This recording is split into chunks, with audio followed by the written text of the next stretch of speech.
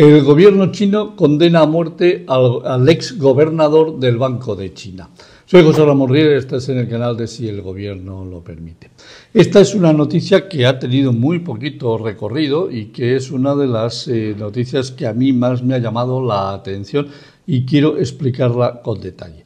Vamos a ver, esta no es la primera vez que el Partido Comunista Chino y el gobierno chino condena a muerte a miembros del partido, porque ahí o eres del partido o no pintas nada, que, y son fusilados porque han cometido actos desleales contra el gobierno y contra el Partido Comunista en temas de sobornos, prevaricación, etcétera, etcétera.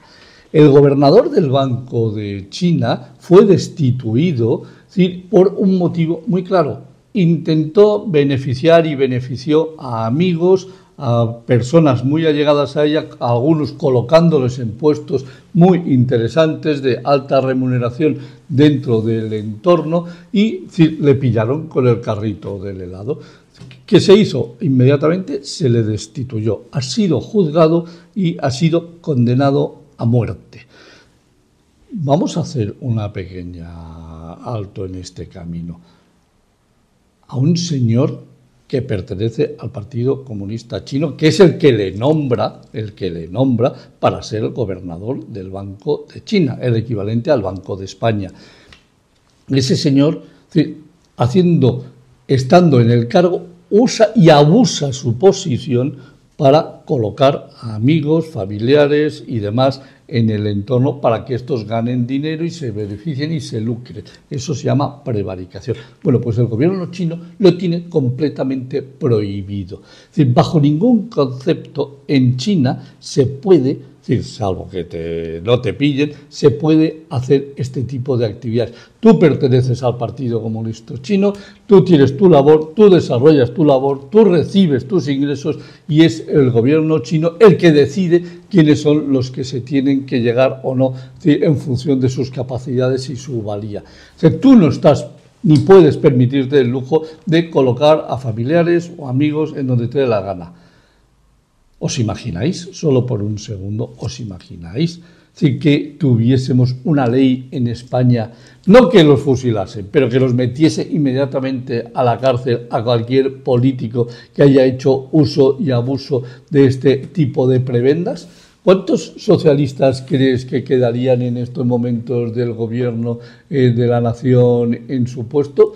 Muy poquito, ¿no? ¿Cuántos políticos en general de este país serían y estarían ya directamente a la cárcel? Unos cuantos cientos o unos cuantos miles o unos cuantos de cientos de miles. Es decir, la ventaja de un gobierno como ese es que no lo permite. Es decir, si te pilla, te vas eh, no solo a la cárcel, sino que puedes ser condenado a muerte. Aquí no, aquí sí ya lo vemos. Es decir, no importa que Begoña se lo lleve crudo, no importa que el hermano del presidente esté colocado a dedo en la Diputación de Badajoz. Eso, bueno, pues al señor Pedro Sánchez le cogería, le detendría el Partido Comunista y le condenaría a muerte en el caso de estar en China.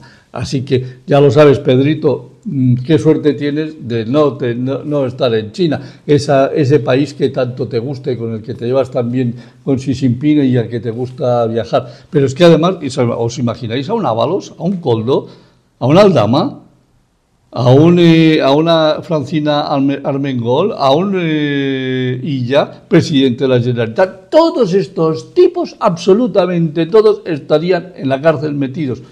Quizá haya llegado una hora, ¿no? Ha llegado la hora de que empecemos a reclamar un cambio de leyes en el cual cualquier acto automático de prevaricación y de prebendas para tu entorno cercano, próximo a ti, llámense amigas de Ábalos, de novietas, llámense esposas del presidente, llámense hermanos del presidente, llámense lo que se llamen, automáticamente deberían de ser no solamente cesados, sino metidos inmediatamente y detenidos en la cárcel a espera de juicio sumarísimo, con grandes penas, no voy a decir lo de la pena de muerte, pero con grandes penas que les obliguen a estar en la cárcel de 20 a 30 años. Veríamos a ver si alguien estaba eh, con la idea de prevaricar y hacer este tipo de cosas. Me temo que nos lo pensaríamos dos veces, porque esto es algo que hay que ya empezar a generar, la limpieza de todos los corruptos de este país. Hay que limpiarlos y la única forma que tenemos de limpiarlos se llama leyes y esas leyes hay que implantarlas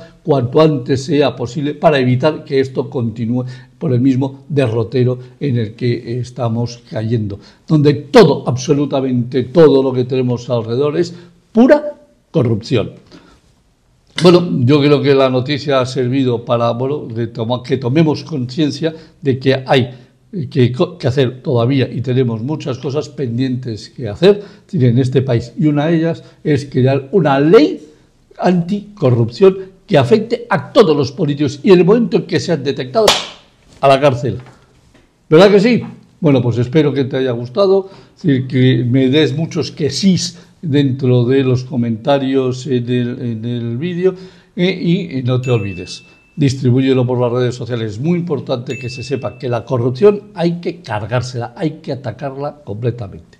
Nos vemos en el próximo vídeo. No te olvides, si el gobierno lo permite.